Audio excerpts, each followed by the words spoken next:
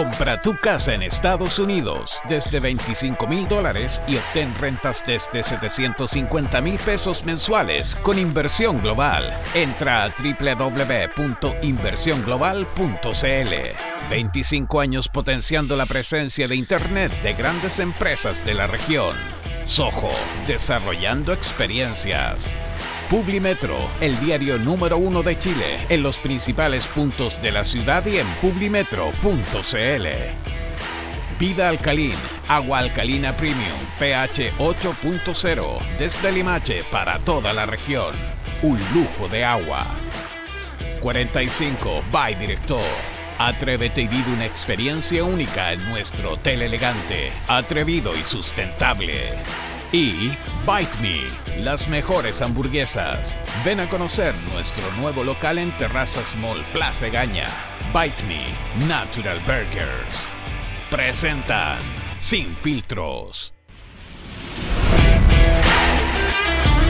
Hola a todos, soy Gonzalo Feito y este es otro viernes más de Sin Filtro en un nuevo horario con una hora treinta de programación. Los quiero dejar para que disfruten lo mejor que pasó esta semana. El rechazo sigue siendo un tema transversal. Eh, y también demuestra otro elemento no menor.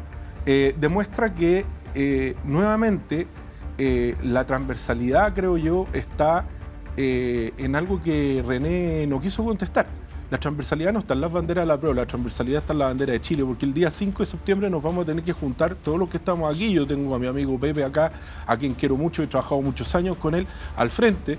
pero vamos a tener que. Con, con, mucha gente, con mucha gente, sí, pues, con mucha gente.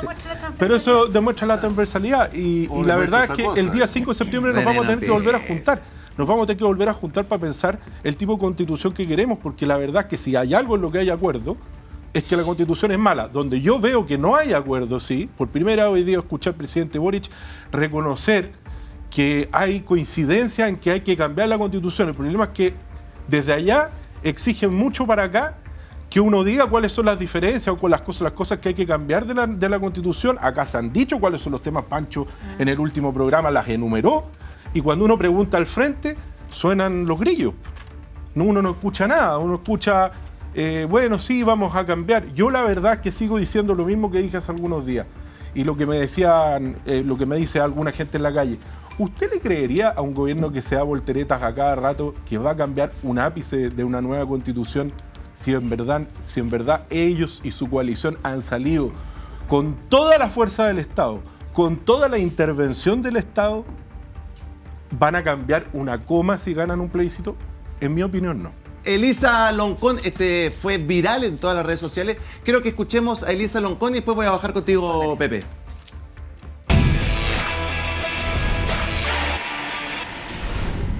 Creo que la persona que está preocupada de comprar dólares tiene que mirarse hacia adentro y por qué, porque esta sociedad nos puso al señor dinero como la meta y todo lo demás es secundario. Pero esos somos los seres humanos, vamos a comer dólares en el futuro o sea, tenemos toda la crisis. Entonces, yo creo que es importante no vacilar en el apruebo. Se aprueba o se aprueba y se aprueba. Eso es, eso es. No hay tercera vía, no hay tercera vía. El gobierno se ha visto obligado a hablar de eso Elisa Loncón, que es como una de las niñas símbolo del borrador de la Constitución. Se aprueba, se aprueba o se aprueba y no, hay, tercera, no hay tercera vía. Y el presidente y el gobierno están haciendo lo que tienen que hacerlo. Eh, Ignacio, y después José, y después vengo para acá. Una, ¿Qué le pareció las declaraciones de Elisa Loncón? Mira, la verdad que yo creo que no es parte de la centralidad del debate, pero sí creo que hay un síntoma en, en esta declaración. Un síntoma de constantes errores de algunos convencionales. Es un error entonces. Absolutamente, pues Gonzalo. Oye, pero si nosotros también tenemos que ser claros respecto a los errores que eh, han cometido algunos convencionales y algunas convencionales. Y en ese sentido no podemos decirle a la ciudadanía que este proceso ha estado, ha estado exento de estos gustitos. Porque estos gustitos hoy día nos tienen con un texto, con este texto que en realidad no es tan malo, no, tiene, eh, no comete grandes errores. Es un texto coherente, es un texto en el que nosotros efectivamente, aunque le cause gracia al señor Orrego, es un texto en el que efectivamente podemos defender los puntos positivos y como dijo el señor Weisblut, que es como un niño símbolo del rechazo, anoche dijo, este texto tiene un 90% de, artículos que a mí me parecen positivos, pero hay un 10% que me parecen negativos. Chuta, entonces mejor hagamos algo conveniente, no nos gastemos plata en, un en la continuidad de un proceso constituyente, aprobemos y mejoremos la carta que hoy día se nos está presentando, perdóname, como todas las normas jurídicas. Oye, si esto de aprobar para reformar es, es una redundancia, todas las normas están para ser mejoradas y para, estar, para ser reformadas si es que hay mayorías que así lo entiendan. Y nosotros tenemos un Congreso hoy día en el que ninguna fuerza política tiene una mayoría. Entonces, de que van a ser reformadas, van a ser reformadas, van a ser mejoradas y confío. Eh, como dijo la señora Loncón, aprueba, aprueba, aprueba, pero obviamente que ese gustito está de más y no podemos seguir cometiendo. Jimena, usted que está ahí en el hemiciclo día a día, en la batalla, ¿cierto? En la primera línea, muñequeando, ¿es reformable el texto como está si se aprueba? Que no es un tema de si es reformable o no, porque todas las cosas son reformables. El tema es si va a haber voluntad de reformarlo, si vamos a tener los votos para reformarlo y si vamos a poder llegar a acuerdos. Ese es el problema. Y si uno piensa, y, yo entiendo lo que dice Ignacio, pero si uno piensa en lo que está diciendo eh, Elisa Loncón, que no solo fue presidenta de la convención, sino que además una de las personas que más negoció eh, el texto, ella lo que dice es que no hay tercera vía y que aquí es o blanco o negro. Eso es lo que nos dice. Pero ella se representa a ella. Pues, pero déjame, déjame terminar, Ignacio, porque te escuché atentamente. Y resulta que eh, tenemos dos temas sobre la mesa. Uno, que en los próximos cuatro años, aprobado el texto constitucional, tenemos que regirnos por un quórum determinado, ¿no es cierto?, que es bastante rígido. Y dos, eh, que tal como se están dando las cosas, la verdad es que no es fácil construir mayorías. Entonces, la pregunta que hacía Gabriel hace unos minutos atrás es bien eh, válida. ¿Qué cosas qué cosas el gobierno actual, que es el jefe de campaña del apruebo, está dispuesto y cree que son perfectibles, porque hasta el mismo gobierno ha dicho que esta no es una eh, constitución eh, que sea perfecta y que hay que modificarla. Y la pregunta está dando vueltas porque no lo dice. Y el presidente nos emplaza siempre a nosotros y nos dice, ustedes no tienen propuesta, ustedes no tienen camino, ustedes no tienen eh, temas sobre los que conversar. Y resulta que los caminos los hemos puesto nosotros, el cuatro séptimo es nuestro. Es de la centro izquierda, no es de el gobierno, es de la centro izquierda en el Parlamento, con votos apruebo y votos rechazo. Y eh, lo más grave, a mi juicio, de todo esto es que lamentablemente estamos discutiendo un texto, porque eso es lo que discutimos, y a mí me da mucha pena que se polarice la discusión y se descalifique a la gente. Eh, estamos discutiendo un texto, no la izquierda contra la derecha, no, estamos discutiendo un texto. Y ese texto es bueno o es malo para el país, ¿Qué es lo que dicen muchos de los que aprueban, partiendo por una mujer a la que quiero mucho. ¿A quién? A la presidenta, expresidenta Bachelet. Ya. De hecho, ojo, ¿ah? de los cuatro expresidentes que hay, solo una llama a aprobar. El resto o dice que no es suficiente o, que, es mala. Claro. ¿ya? Y dice ella y muchos otros que están por la prueba dicen hay que arreglarla. Yo digo, pero ¿cómo vamos a arreglar algo que partió mal? Que cuando se discutió con convencionales elegidos democráticamente no fue posible que se pusieran de acuerdo.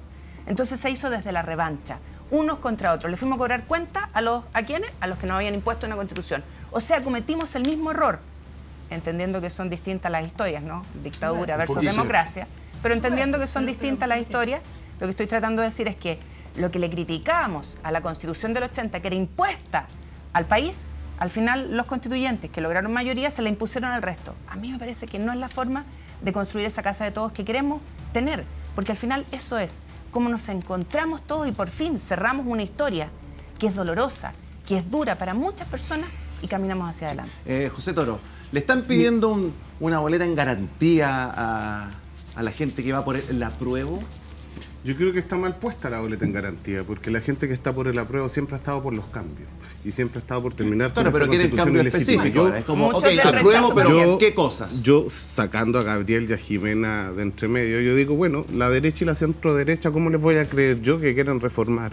Si siempre se han opuesto a todos los cambios de la Constitución. ¿No les pasa a ustedes que esto es como una partida de cacho? ¿Cierto? Tengo mis dados. A ver, muestra. No, a ver, muestra tú. Estamos como Nadie quiere, Bueno, es que nadie quiere diferencia. el Nosotros, el hemos dado voluntad por los cambios siempre. No, pero En cambio, cambio, pero la obligado. nunca la ha tenido. Hay una No, pero coherencia. nosotros, nosotros por nuestra parte, lo que hemos hecho este último tiempo ha sido ser muy transparente con la ciudadanía, de entender que el plebiscito de entrada fue una manifestación concreta por parte de nuestros vecinos respecto a que ellos querían ponerle término a un texto constitucional que hoy en día, lamentablemente, y esto yo lo he dicho de forma personal, porque yo fui de aquellos que decía, oye, hay que defender esta constitución vigente. Tuve unas peleas bien graves con mi compadre Lemparta acá, de- debatiendo sobre el texto de fondo, pero finalmente uno también tiene que ir escuchando esa mayoría ciudadana que dice, compadre, queremos una constitución que esté mirando al Chile del siglo XXI y no esta, esta mala propuesta de texto constitucional que lo que está ti, realizando es mirar, es, mirar, es mirar para atrás. ¿Puedo terminar? Es mirar para atrás, al pasado, que está copiando ideas que no son buenas para los países, que lo que hace es básicamente ponerle un frenón al- al- al- a la inversión, al crecimiento del país. Y nosotros como sector lo hemos dicho en todos los tonos, disponibles para los cuatro séptimos, cuáles son los temas sobre los que tenemos que conversar, habilitar una tercera vía, cuáles son las temáticas en particular y las bajadas concretas que consideramos respecto a cada uno de esos temas, mientras que usted, amigo, en la opción del apruebo, nos dice, nosotros siempre hemos estado dispuestos a modificar. ¿Pero qué? ¿Pero cómo? ¿Pero cuándo? ¿Dónde? Porque conseguir dos tercios en el Congreso es un candado bastante grande, no tanto por el quórum, sino que por la articulación y correlación de fuerzas que hoy en día tenemos al interior del Congreso. ¿Tú puedes comprometer los votos del Partido Comunista? ¿Tú puedes comprometer los votos del Partido Socialista? ¿Tú puedes comprometer Pero los votos de Convergencia los votos Social? del PP. ¿Tú puedes convertir... Y construyamos tú- los cuatro Yo sí te comprometo los votos ¿Cuál del es el sector. problema de eso? Osvaldo, ¿Ah? usted quería... ¿Cuál es la diferencia? Acá hay, acá hay voluntad. Allá hay una Acá voluntad. también. Los relatos que uno escucha respecto de, el- de lo que viene hasta el 4, culmina el 4. Pero, pero todos esos relatos que culminan el 4 tienen dos opciones a la vista. Uno puede construir muchas perspectivas anteriormente, una lista de cosas por cambiar, lo que ustedes quieran, pero todas esas cosas se van a desarrollar después del 4. Y en consecuencia habrá que ver voluntad política, correlación de fuerzas, todas las cosas que son propias de la política. Pero el día 4, cuando uno se enfrenta a la una, compelido a pronunciarse, se pronuncia no respecto de estas alternativas, porque estas alternativas hay que construirlas. Y habrá que ver cómo se construyen. Y ahí habrá si hay buena fe, si les creemos o no les creemos. Dejemos eso de lado, porque eso está por verse. Lo que tenemos el 4 es una disyuntiva binaria, desgraciada o felizmente.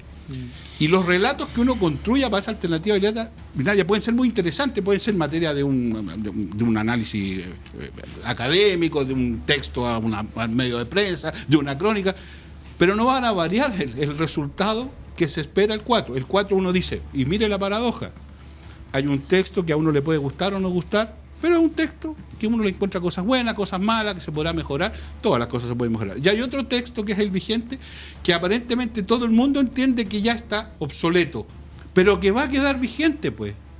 Si ese es el punto, porque si usted vota rechazo, lo que usted está votando y dejando vigente es el texto vigente. Después habrá que modificarlo, como se expresa aquí, pero el texto que va a quedar el 5, mire, el texto de Pinochet va a cumplir 5 años, 50 años de vigencia si gana el rechazo. Para mi generación, para los que estuvimos siempre en esta pelea, créame que no es una cosa simbólica baladí, porque a diferencia, y esa es la gran diferencia entre las dos alternativas, es que uno tiene, con todas las críticas que uno le puede hacer a la convención, tiene un origen democrático este texto. El otro no lo tiene.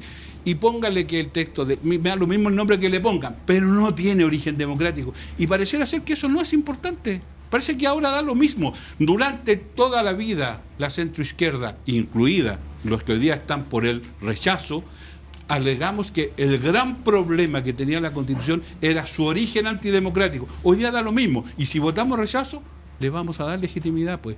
Y da lo mismo eso, por Ma- favor. Magdalena Mervilá. Yo creo que aquí hay un punto bien importante que dio en el clavo, contigo, que dio en el clavo Osvaldo.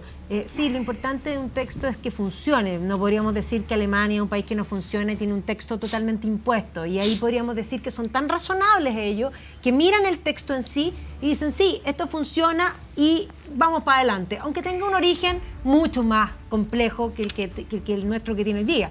Pero aparte de eso, hay que decir, aquí hay varias, varios puntos que, de hecho, Ignacio lo que planteó es, dice, es malo, pero no es tan malo. O sea, lo claro está en que el texto es malo. Y tú tienes toda la razón, Osvaldo, que aquí vamos a votar por el texto. Y el texto es malo. Ya entonces nosotros tenemos que pensar cómo no malo, construimos, por favor, cómo construimos como Yo construimos país. No, o sea, lo que estoy planteando es que la- eh, tienes razón que la- lo que vamos a votar es binario. Es el, es el texto, ¿Es, es bueno o es malo? O sea, el que lo encuentre malo va a rechazar, el que lo encuentre bueno va a aprobar.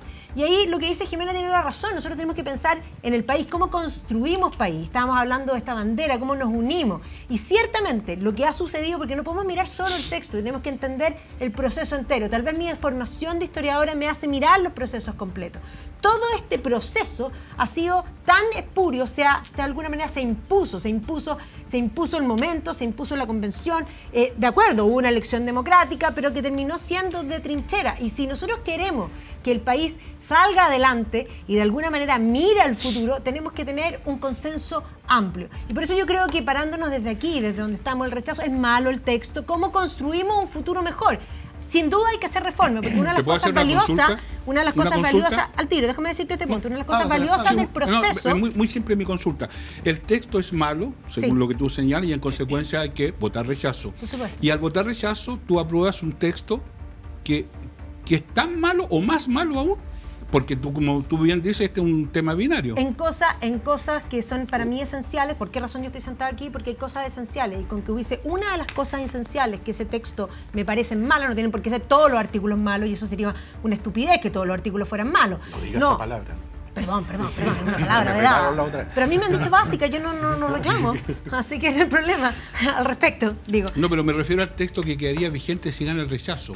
Es un texto que Sí, pero funcionó. uno lo durante- encuentra malo eso. No, yo creo que es un texto que funcionó durante Ah, 30 ya, ok. años y que nos hizo no, crecer y que podemos cambiar las cosas que necesitemos cambiar. Me Y por eso yo iba a decir, estamos en un proceso, todo esto abrió un proceso para mirar el país desde otro punto. Yo estoy de acuerdo que antes a lo mejor muchos no querían cambiar cosas, pero fíjate, yo como historiadora puedo decir que los cambios más radicales, políticos, yo me dedico mucho más a historia europea, pero en Europa muchos cambios políticos los terminó haciendo el sector contrario a esas ideas. ¿Por qué? Porque las cosas se van poniendo. O sea, claramente hay ciertas reformas que nosotros estamos dispuestas a hacer y que se van a hacer. ¿Y cómo se va a hacer? Eso estoy de acuerdo. Lo veremos después del 4 de septiembre. Pero en este lado hay garantía de que efectivamente tenemos que avanzar a una constitución como plantea Pancho del siglo XXI. comparto muchas de las cosas que ha dicho Valdo y desde la centroizquierda obviamente para los que estamos en el rechazo no es un tema menor estar en el rechazo ni fácil no hemos tenido que, Me que, imagino que no. de- que- que- que- que aquilatar el texto como dices tú el 4 nos vamos a enfrentar al texto cierto sin duda que la opción del texto es binaria, eh, Osvaldo. Eh, y por eso a uno le gusta o no le gusta, y hay cosas que para mí son banderas rojas, el sistema político, el sistema judicial, para ti habrán otras que no. Hay cosas que me gustan también, los derechos sociales, por cierto. Hay muchas cosas que me parecen interesantes, pero lo que sí creo, y en esto podemos estar más o menos de acuerdo, que este texto no ha ayudado a la unidad nacional. Y yo creo que un texto constitucional lo primero que debiese hacer, y en eso debiésemos tener al menos, no debiésemos estar enfrentados en esto. Yo creo que lo primero que debiese hacer un texto constitucional es generar una cierta unidad nacional en el sentido de un respeto hacia un texto que nos permita no a todos, yo no estoy diciendo siempre van a haber extremos en la sociedad, en la sociedad alemana, es- conocemos cuáles son los extremos en, en la sociedad norteamericana también, pero este texto nos tiene discutiendo casi a nivel familiar lo que sucedió con la hija Mireia Baltra el fin de semana, que fue acusada por su propia familia. O el hermano. O, o la hermana, perdón, la, la hija de la, de la Mireia Baltra, eh, eh, por, por sus hermanos, acusada de ser además manipulada como si fuera un, un- un objeto cuando es una, una mujer inteligente, cuando es una persona, cuando tiene todo el derecho a pensar distinto, nos tiene en una situación que si este texto fuera bueno por sí mismo, tuviese el respeto por sí mismo, estaríamos votando como votamos el 80% de los chilenos de entrada para eliminar el texto de Pinochet. Entonces, eso es lo que a mí me preocupa, eh, Osvaldo, que es un tema, es un tema que creo que hubo un farreo, un farreo profundo en un, en un, en una, eh, de una revancha de gente que quiso pasar. Aquí hay algo muy dramático, Osvaldo. Lo dramático de esta situación es que volvemos nuevamente a la de vencedores contra vencidos. Esta era la oportunidad democrática, y sin duda que esta fue una oportunidad democrática, de generar un texto que hablara por ese 80% y no que hablara por un sector. Por un sector que se impuso de una manera poco poco democrática. en la- en- recuerda que la democracia no, solo, ¿y no con- es solo ¿Con qué texto procedimental. nos quedamos si gana el rechazo? ¿Mm? con un texto que genera unidad nacional? ¿Con eso nos quedamos? No, no, no, no, no, yo no, por eso está el proyecto de los cuatro séptimos No, años. no, eso es otra cosa. Perdona. Aquí hay un tema que, que oigo que se repite ahí en el panel del frente y que me parece que merece una reflexión. ¿ah? Eh, se habla de que el texto no generó el consenso. ¿Era el texto el llamado a generar el consenso? ¿Ah? Yo creo que hay una pregunta Obvio. bien importante. Obvio. Se dice, se dice, no, no es tan obvio. ¿Por qué? Se dice el, la constitución divide a Chile. ¿El texto dividió Chile o Chile tenía divisiones, una grieta profunda de antes que se expresaron en el texto y que hubo ahí una Bueno, el liderazgo incapacidad político política? lo que tiene que hacer es atemperar las Perdón, no sé si diferencias. puedo- Por favor, René. Ya, Por favor, siga, eh, René, entonces, si puedo eh, seguir. Por favor, ahí, yo me hago, me hago esas ah. preguntas. ¿Qué autocrítica, aprovechando aquí que está la senadora, se hace, ¿no es cierto, eh, su sector, por ejemplo, respecto a la incapacidad de generar un espacio, un nuevo espacio de consenso en una sociedad que viene dando señales de crisis evidente a partir del año 2011 al menos, ¿no es cierto?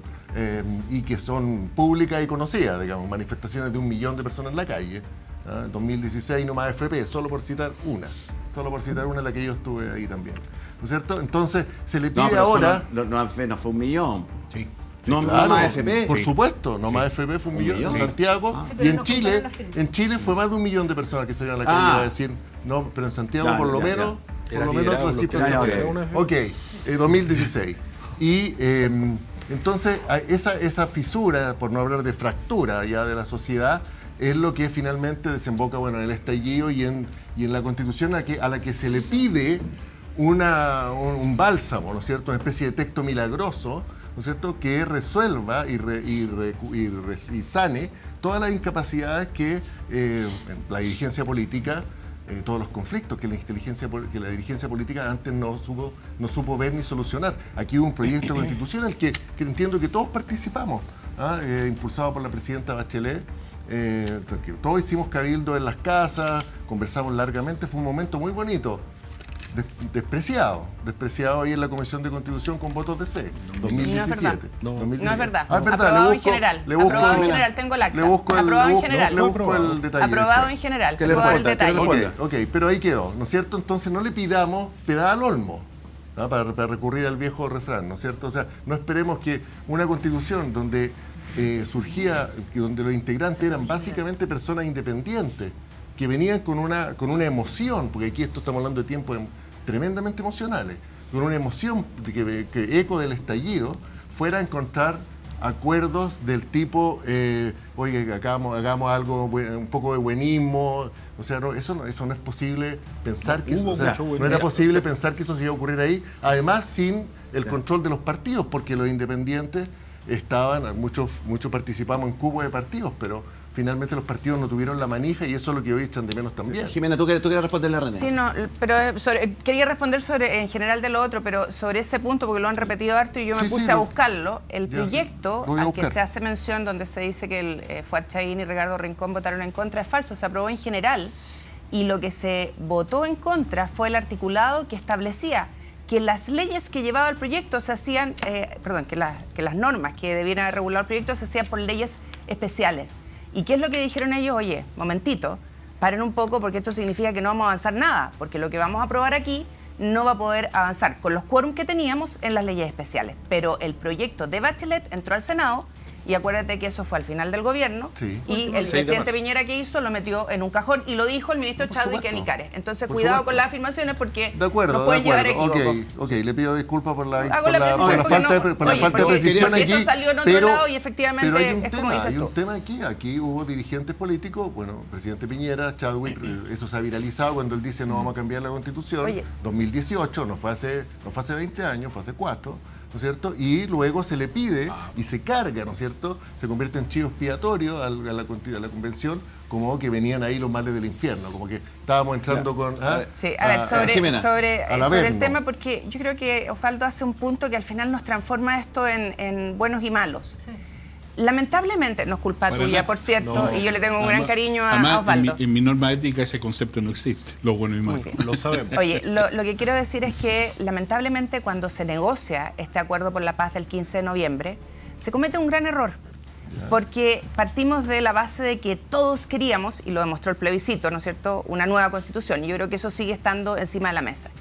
pero se deja en la reforma constitucional del artículo 142 de ese minuto señalado que si gana el rechazo, sigue vigente el texto constitucional. ¿Por qué? Y esto yo lo pregunté a los que estaban en la negociación, y a mí no me tocó, pero fui ahí a acompañar, porque obviamente no podía quedar en un vacío constitucional. Así. Y lo que debió haberse hecho, pero podríamos hacer ahora, y vamos a presentar A la ver, reforma, ver, porque nos ver. encanta reformar, ver, exclusiva. es modificar el artículo 142 Ya. y establecer el presidente, en el evento de que gane la opción rechazo, el presidente de la República enviará al Parlamento una reforma constitucional en 30 días para permitir continuar con el proceso constituyente y consultar a la ciudadanía al menos dos mecanismos para decidir cómo se sigue. Yo, yo ahí me quiero meter. O sea, a ver, Pan, Yo, creo que... Bomba, acaba, de ¿Por meter qué? bomba, Porque no puede ser que aquí se nos diga que no podemos votar rechazo porque vamos a dejar vigente la constitución actual. Pero si lo que estamos Jimena, votando, pero no, pero tanto déjame terminar, Osvaldo, que yo te escuché. yo reforma. te-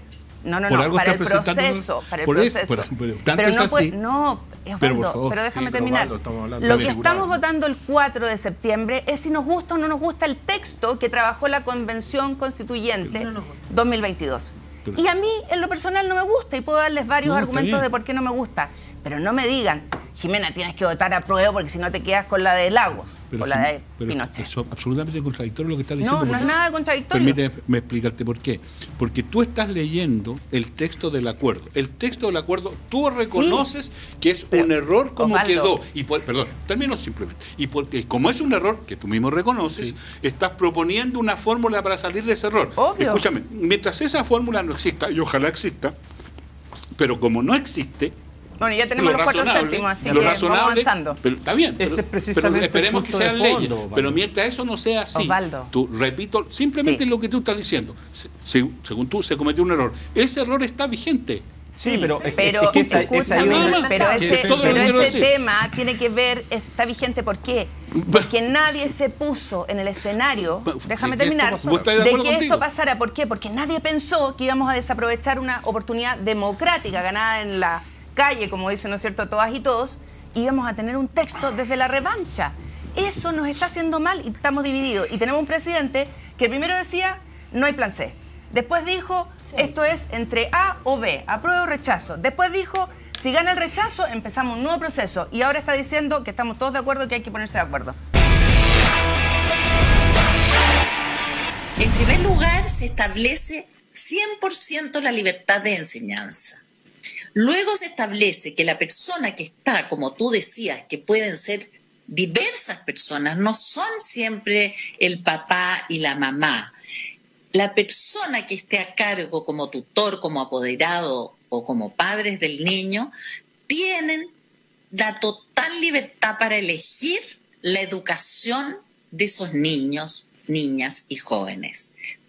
Además se agrega que esto debe hacerse respetando el interés superior y la autonomía progresiva de los niños, niñas y adolescentes. Y creo que esto es muy, muy importante, porque en nuestro país los niños parecen en la constitución actual no tener derechos. Eh, Silvia Seguirre, a ver, en el texto, ¿dónde están los dolores en tema de educación? A ver, yo encontré tres dolores. Uno, creo que el texto debilita la libertad de enseñanza, no la elimina, la debilita. Segundo, creo que abre la puerta para una eventual eh, discriminación del Estado respecto de los niños y su financiamiento en la educación, especialmente en la educación particular subvencionada. Abre la puerta para ello. Por supuesto, eso va a depender de la ley, no está en la Constitución, pero abre la puerta para eso. Y en tercer lugar, a mí me preocupa que el texto puede puede malinterpretarse y puede incitar, incitar a engaño porque promete acceso universal en todos los niveles educativos, siendo que en los países más ricos del mundo la educación terciaria, es decir, la educación superior, no está asegurada en acceso universal. Eso lo dice el texto, hay ciertas contradicciones, pero creo que son tres puntos que al menos a mí me, me preocupan. Feliz después de discutir cómo se interpretan esa Mario. parte. Bueno, yo no creo que se debilite la libertad de enseñanza. Por el contrario, lo que hace es caracterizarla correctamente. Y, enfatiza explícitamente y con muchísima claridad la libertad de los padres, madres o tutores legales para elegir el colegio y el tipo de educación de sus hijos. En eso es explícito. Lo que no repite de la Constitución del 80 es la caracterización del negocio educativo. Porque la Constitución del 80 confundía libertad de enseñanza con libertad de emprendimiento, que son cosas muy distintas. Y nosotros, la sociedad chilena, muchos, una gran mayoría de la sociedad chilena levantó muy fuerte desde el año 2006 en adelante la reivindicación de que se terminara el lucro en educación, que se terminara el negocio educativo, que se terminara la verdadera industria educativa, que se verdaderos imperios de colegio, un negocio pero extraordinario con fondos públicos. Eso efectivamente no queda en la nueva constitución, no queda eso del negocio educativo, pero sí se asegura la libertad de enseñanza de los, de los padres para madres también, porque la constitución del 80 so- era machista, decía solo padres, esto dice padres, madres y tutores, hay una cosa ahí eh, interesante, pero además, eh, el- el- el- efectivamente, y es algo que nosotros queremos, que es que los, los recursos públicos en educación se inviertan en educación y se inviertan en los niños y niñas.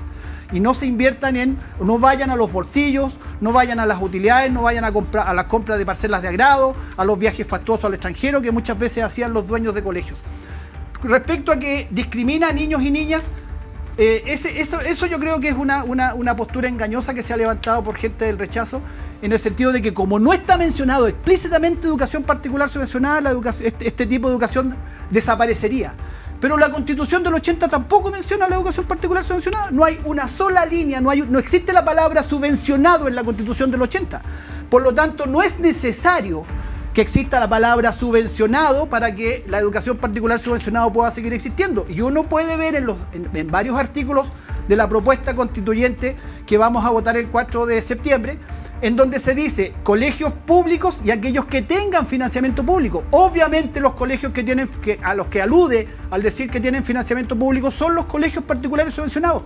No es verdad que la educación particular subvencionada va a desaparecer. Y respecto a la tercera objeción de Silvia de que como consagra tantos derechos, eso podría ser engañoso, bueno, es, bien discutible porque entonces no consagremos ningún derecho porque como a lo mejor no vamos a poder cumplirlos cabalmente todos, entonces no pongamos ningún derecho. Obviamente al colocar el derecho establece una obligación del Estado de hacer los máximos esfuerzos porque ese derecho se establezca y establecer que la educación es un derecho para toda la vida de las personas es una gran ganancia. Yo le pregunto a las personas que están escuchando en sus casas, que a lo mejor no son tan eruditos, si considera o no que la educación debe ser un derecho en todas, sus, en todas las etapas de la vida de las personas. Yo estoy seguro que van a estar de acuerdo. Bueno, eso establece la nueva constitución y a Silvia no le parece bien porque supuestamente No, eso podría no, generar una bien. Tengamos la expectativa como sociedad de asegurar el derecho a la educación. Tengamos esa expectativa. Es muy bueno que la constitución nos obligue a todos a hacer los máximos Silvia. esfuerzos ver, porque Silvia, Silvia. el derecho a la educación sea para toda la vida. Sí, a ver, tres cosas. En primer lugar, Mario tiene toda la razón, que es lo que dice la Constitución, de que él entiende que la libertad de enseñanza se restringe a la libertad de los padres de elegir el colegio a sus hijos.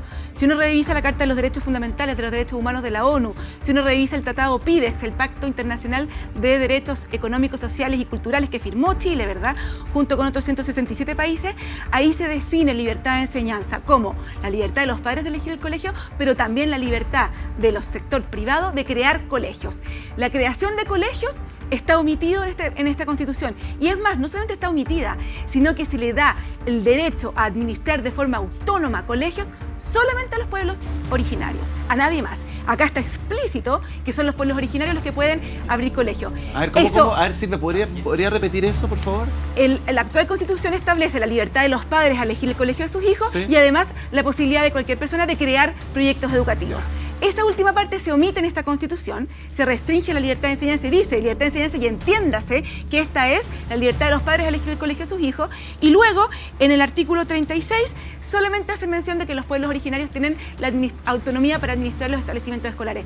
Eso no significa que no puedan existir colegios particulares subvencionados. Y quiero ser súper clara. Sí. eh, Pero qué queda, bueno, qué pero bueno. sí, no, no significa que están prohibidos. Bien. Queda a la ley. La Constitución no los consagra como un derecho, eh, queda a la ley. ¿Y en la del a 80 también estaba la no, ley? en la del 80 estaba establecido como un derecho constitucional, igual que la Constitución de Alemania, igual que la Constitución de muchos otros Pero no países se- latinoamericanos no se y europeos. colegios Perdóname, no, no, no, Perdón, era educación privada, no particular subvencionada. Y respecto a lo que decía Mario, nuevamente, yo no estoy hablando, Mario, de la educación particular subvencionada, porque no, que no esté mencionada acá. Eso no tiene nada que ver. Lo que yo estoy diciendo es que esta constitución, algo inédito en las constituciones del mundo, habla del financiamiento específico que debe recibir la educación estatal. ¿Ya? Algo que no existe en otras constituciones del mundo, al menos yo he revisado 70 y no encontré ninguna de esas. Reconoce que el eso 5 de septiembre no desaparecen los colegios particulares por subvencionados. supuesto que no. Ya. Además, esta constitución sí establece y ratifica los derechos internacionales donde está la libertad de enseñanza. Y acá entran en tensiones varios puntos que después podemos entrar en detalle, que tiene que ver con la libertad de cátedra, con el tema que la comunidad educativa puede, eh, puede ser parte, no, y decidir el proyecto educativo y terminar con un proyecto educativo si quiere, ¿verdad? Pero lo importante es decir, no lo termina. Por supuesto que no, abre la puerta para que ello ocurra, sí. Y el que abra la puerta para financiar de forma distinta la educación estatal de la educación privada, cosa que muchos constituyentes querían, ¿verdad? Eh, eso abre la puerta eventualmente en la legislación va a ser va, va a quedar el ¿Puedo lugar para eso para Rocío, Rocío, que hayan discriminaciones del Estado los. Yo quiero, yo quiero ir un, un paso atrás respecto de cómo queda la educación en este borrador de la convención. Eh, no a nivel experto, sino que a nivel amateur. ¿ya? Ya. Entonces, quiero decir que la- no se mejora, no se avanza en términos del derecho a la educación y libertad de enseñanza en este borrador. Lo que hay es una serie de normas vagas, indeterminadas, imprecisas, a partir del artículo 35 y siguiente, en que se establece, sí, el titular es libertad de enseñanza, siempre que todos, comunidad educativa, establecimientos estatales y no estatales, particulares subvencionados, todos, profesores, a través del titular de la libertad de cátedra, de cátedra se sometan o se rindan a los fines y principios que los constituyentes creyeron y que están establecidos en estos artículos. Entonces, en términos más generales es, tenemos libertad de enseñanza, dice libertad de enseñanza el titular, pero en la realidad vas a tener libertad de enseñanza siempre que te sometas a los fines y principios que la Constitución establece, que incluyen, por ejemplo, la plurinacionalidad, el enfoque de género, eh, la interculturalidad, la pertinencia eh, territorial, la conciencia ecológica, entre otros. Hay nueve principios que están establecidos en estas normas de educación. Entonces, en mi opinión, no avanzamos. Silencio absoluto respecto al derecho preferente de los padres a educar a su hijo. No existe en la Constitución. Silencio. Silencio respecto de crear no está. ¿Cómo que respecto no? de ¿Cómo no está. Artículo Artículo 41. No, el, Artículo- el derecho ¿Cómo preferente que no? de los padres a educar a sus hijos no Está está. clarito, la libertad de enseñanza. Artículo le puedo leer. 41. Se garantiza la libertad de enseñanza y el deber del Estado respetarla. Esta comprende la libertad de madres, padres, De apoderados y de tutores legales a elegir el tipo de A educación elegir. de las personas a su cargo, no es el respetando el interés superior no, y la autonomía progresiva de niños, niñas y adolescentes. Juzgue usted en su ver, casa. yo me quiero meter si está garantizado no, o no. de- entramos, muy de lleno en la discusión de libertad de enseñanza y no le hemos explicado a la ciudadanía que el derecho a la educación que incluye la libertad de enseñanza tiene bajadas concretas. La primera bajada a la libertad de enseñanza es el derecho es preferente de los padres a educar Los a sus primeros hijos educadores son los padres. como, como principales garantes de la educación de los menores dentro del núcleo familiar como la familia como núcleo fundamental de la sociedad. No está en La- Según, eh, perdona, espera, según, de déjame- qué, según qué perspectiva filosófica. Amigo, definiciones internacionales. de acuerdo, Amigo, pero- que, pero- están- que vienen desde la constitución de 1925. Por favor, si me va a interrumpir, interrúmpame. No, Déjeme pero para que- terminar. para que sea Déjeme claro, para que- Déjeme que termine Pancho, René, René. Para que la gente sí, entienda. Sí, pero es que si usted no lo sabe, yo está bien, se lo tengo que explicar. Para feliz, se lo voy a explicar. Pancho. Y, y por eso lo estoy Para explicando a la gente, gente René. Y si no me interrumpe, yo te lo agradecería porque esto es muy importante y me gustaría que saliera de corrido. Entonces, la libertad de enseñanza tiene ciertas bajas. La primera de ellas es el derecho y deber de los padres a educar a sus hijos. Yo como principal, yo como papá soy el principal garante de la educación de mi hijo. Ya. El segundo elemento que constituye la libertad de enseñanza es la posibilidad de los privados de tener establecimientos educacionales que respondan a finalidades educativas de su propia visión. Y el tercer elemento es que tengan la autonomía suficiente para mantener ese establecimiento educacional bajo los parámetros que ellos mismos determinaron como comunidad al momento de levantar el proyecto educativo, como sostenedores, perdón. Lo que yo veo en este borrador de texto constitucional es que primero la libertad de enseñanza se mancilla. Se mancilla desde el momento en que la constitución, que esto amigo, nosotros revisamos creo que 90 constituciones a nivel internacional y ninguna de estas te fijaba los principios y fines de la educación a nivel constitucional. Ni siquiera la de Rusia, la de China o la de Venezuela. Es- Esto es inédito. Ah, pero no en la medida, déjame terminar por favor. No De- no, no. En la medida, en la medida te enojes, que la Pancho, estoy repitiendo lo que tú en- has dicho. En la medida, que, que no me interesa, amigo, me interesa que la gente en la casa me escuche. No, no, no, no usted que me quiere interrumpir a cada rato. Porque esto es Oye, importante. yo no me interrumpió en todo el programa. Ya, pero no lo haga No, ahora, no, por, por favor. favor. Se lo estoy pidiendo, por favor. Se lo estoy Tú pidiendo, por favor. Se lo estoy pidiendo, Pancho, por favor. Pancho, siga, por favor. En la medida en que se Se fijan los fines y principios de la educación a nivel constitucional, yo establezco que todos los proyectos educativos se tienen que enmarcar dentro del proyecto único determinado por el Estado. En la medida en que los privados, los sostenedores, no tienen la posibilidad de tener establecimientos que respondan a sus propias visiones, ¿quién pierde? Ningún y artículo esto yo lo digo eso. desde la perspectiva. ¿Cuál es la gran diferencia? Que esta constitución que ustedes lo acaban de leer habla de la posibilidad de elección pero no te habla de cómo estaba garantizado en el texto constitucional actual, que es el derecho a educar a los menores. A eso, si tú le sumas que esta constitución tiene una visión estatista respecto a la educación y establece que el financiamiento basal, amigo, tiene que ser al, al- al subsistema de educación pública de carácter estatal, integrado por, por establecimientos del Estado y Como el en casi todo financiamiento el basal mundo. estaba asegurado para ellos. Como en casi eso todo el lo mundo. dice textual. Como en casi pero todo el después mundo. la norma transitoria, amigo mío, es la que estableció que una ley determinará que otros proyectos educativos pueden acceder al financiamiento. Esa baja completa, yo no la veo desde la perspectiva de los sostenedores. La veo desde la perspectiva de los que somos papás. Estás describiendo el sistema educacional francés, o finlandés, o italiano. amigo, No, Mario, libremente. no. Escuchemos, escuchemos, un poquito Podemos- leer el artículo Pancho, de nuevo. Vamos con leer el Silvia. Voy con Silvia y contigo, René. No, no, déjame, leer solo el primer uno, el, el numeral 1 del artículo 41. Se garantiza la libertad de enseñanza y es deber del Estado respetarla. Creo que con eso queda súper claro. No, no, no. Lo lamento, está clarito, está clarito. El No, pues oye, si le vamos a buscar el cuesco a la breva, pero ahí está clarito. Sea, primero Mira, dijeron- me llama la atención que casi todas las cosas que dijo Pancho Rego re- alegando sobre la nueva constitución están más o menos expresadas en el texto, pero con Más otras o menos. palabras. Más o menos. Más o menos expresadas, pero con otras palabras. Obviamente no. va a salir igual que lo que querían los convencionales o los sectores de la derecha. Y creo que por eso también en parte se ha generado una importante expectativa, porque yo creo que, y aquí quería partir con el principio de todo, esta- de todo este, de todo este bloque, cuando tú, Gonzalo, dijiste que la educación era muy importante porque tiene que ver con la movilidad social, pero no se trata solo de eso, sino que se trata también de discutir eh, el bien común que significa la educación, Mm, claro. se trata de discutir de la justicia Sí. social, Obvio. se trata de Sí. discutir de que la educación tiene que estar al servicio, Lógico. para mí, de los sectores populares, del pueblo De trabajador. todos. Ahora, todos. El- el- ahora, artículo justamente, y por 35. eso creo que existen muchas expectativas en amplios sectores respecto a este punto de la nueva constitución, porque lo que tenemos hasta el día de hoy, amparado por la constitución del 80, de Lago y de Pinochet, y por el modelo de los últimos 30 años, es realmente un desastre, y bien lo saben los profesores, bien lo saben los trabajadores de la educación, porque hay salario impago, porque eh, ah, no se pagan las, con- las- las- las pre- las Tiene cotizaciones previsionales, porque hay liceos que se llueven, que los niños pasan frío, etcétera, etcétera. Entonces, ahora, entonces, ahora, yo creo que el llamado precisamente es a que no nos confiemos.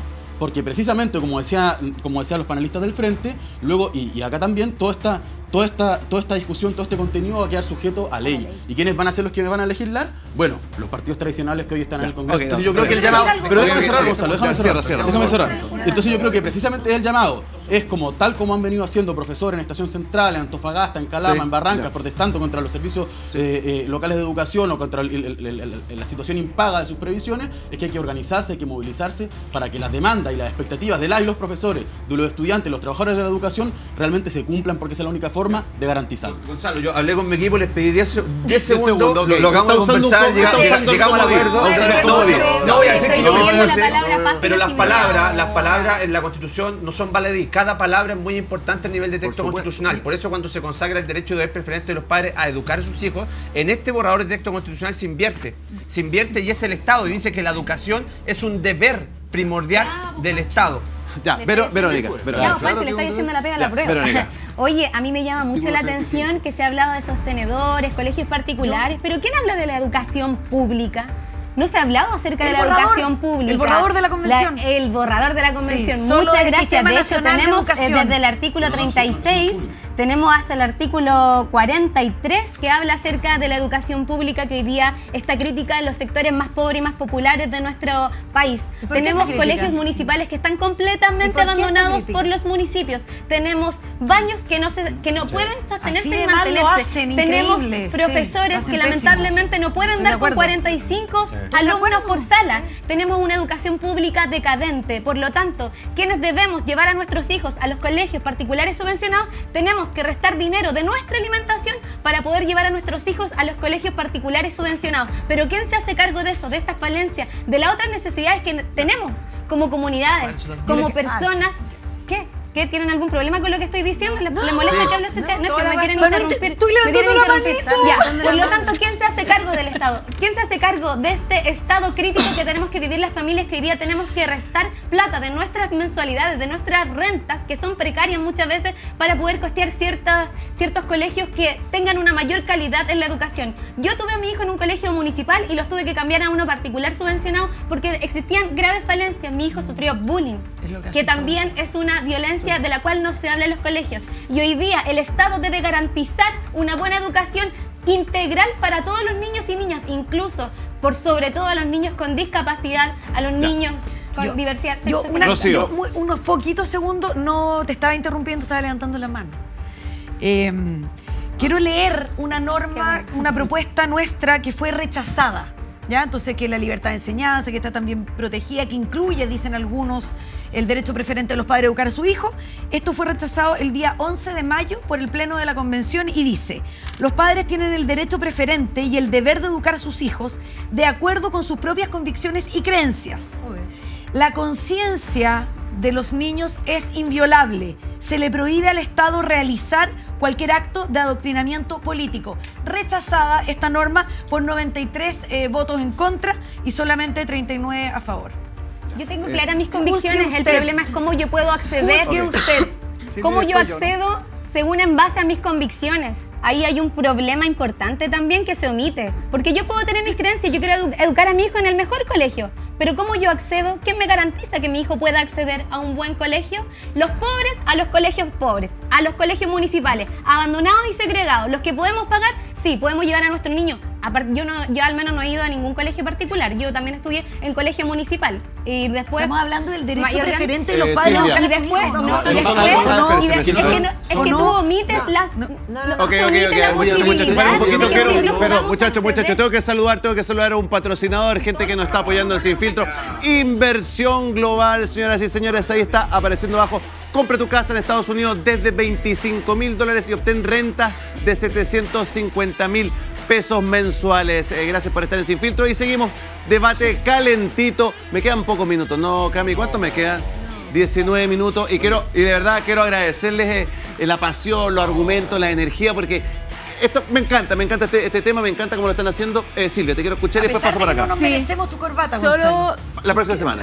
dos puntos. Yo creo que le encuentro toda la razón a Verónica, toda la razón.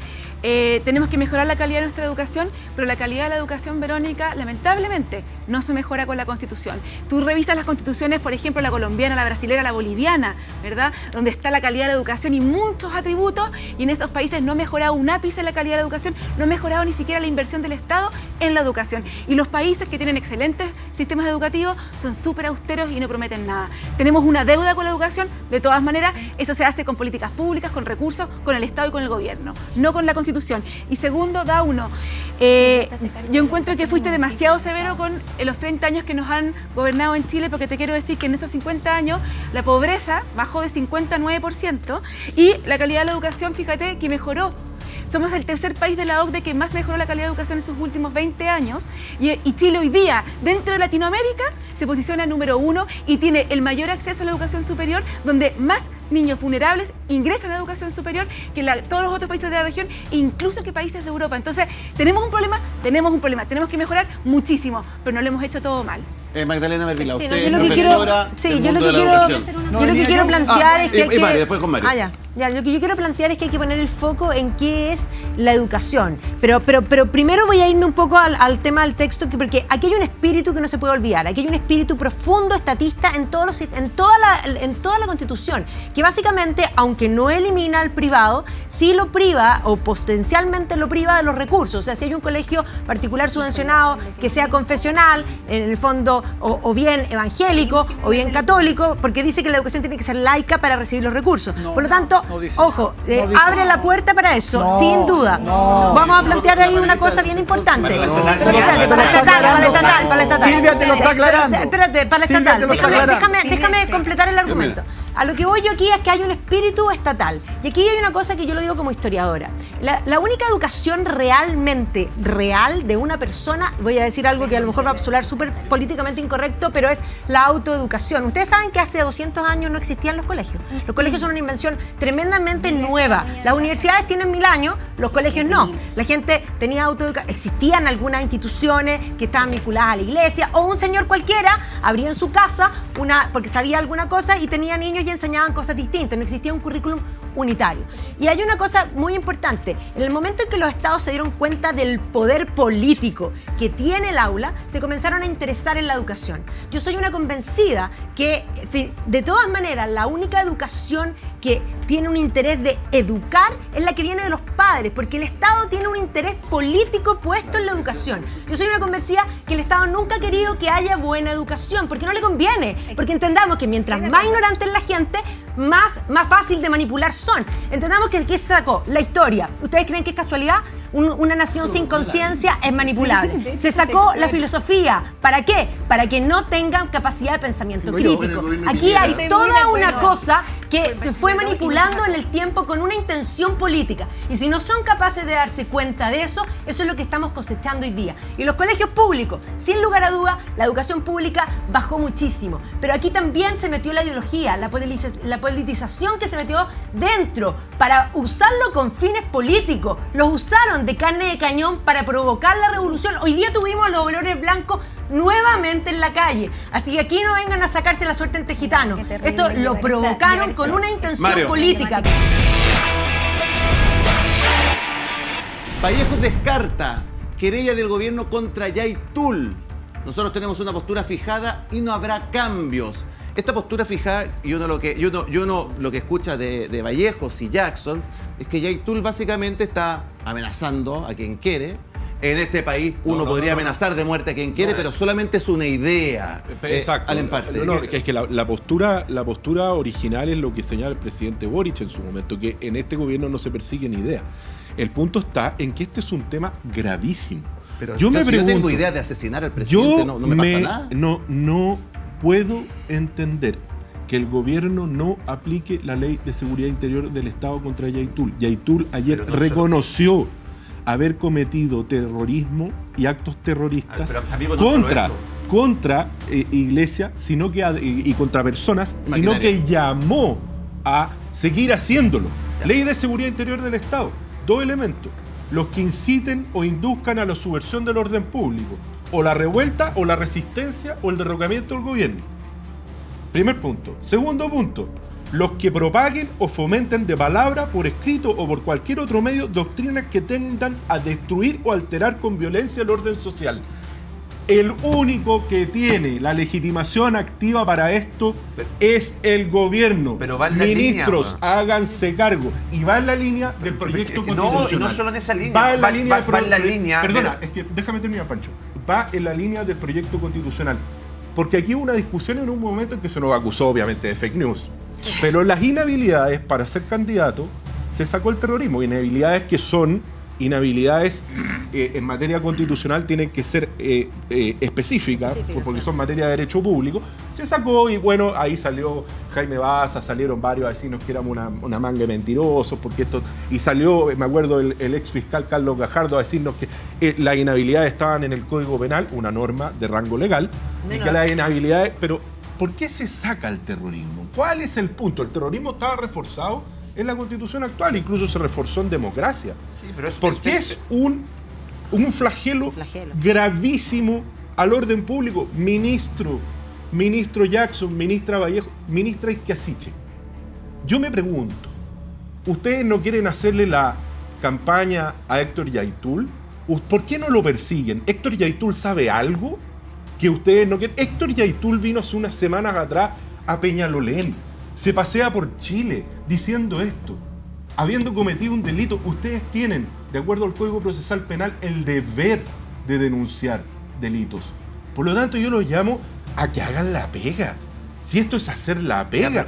Y, resulta la- que alguien línea. del Ministerio del Interior ayer me dijo, antes- alguien del Ministerio del Interior ayer me dijo, y tuve una comunicación, me dice, lo que pasa es que se han querellado muchas veces contra Yaitul por ley de seguridad interior del Estado, y esto lo único que ayuda a su agenda Perdón, hay que querellarse cuantas veces sea necesario.